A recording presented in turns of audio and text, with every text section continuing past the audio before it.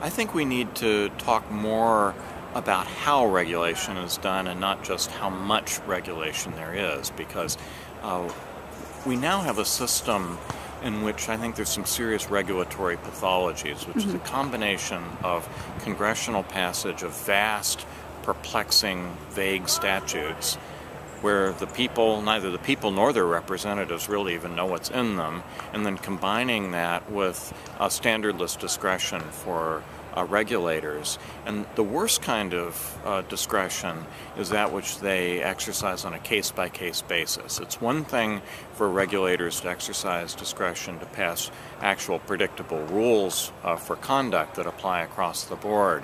But increasingly today, what uh, businesses and regulated parties have to do is to go hat in hand for permission. I call it Mother May I regulation uh, with uh, very few standards, uh, or uh, government by waiver, where uh, you have rigid rules that very few people can comply with, compli- combined with grants of waivers to politically selected uh, uh, parties who are not required to, to comply with the rules. And we don't know why some people get the waivers and why others do not, and it leads to a real erosion of the rule of law. And the basic problems with this are three. One, it declines democratic accountability because none of us really are able to uh, affect the process democratically.